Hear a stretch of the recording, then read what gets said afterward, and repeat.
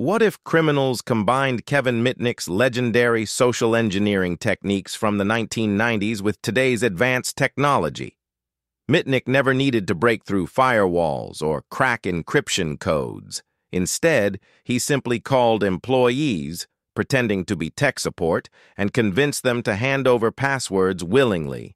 He studied human psychology, not computer code, manipulating trust rather than hacking systems directly.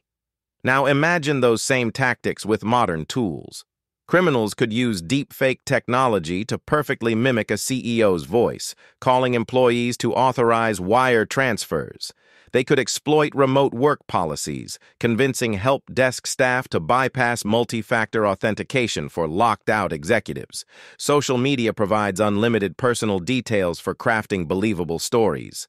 AI voice cloning makes phone impersonation nearly flawless. Traditional cybersecurity becomes useless because the human element remains completely vulnerable.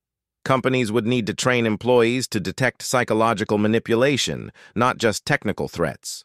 Mitnick's analog-era techniques, powered by artificial intelligence, could compromise any organization through pure human manipulation.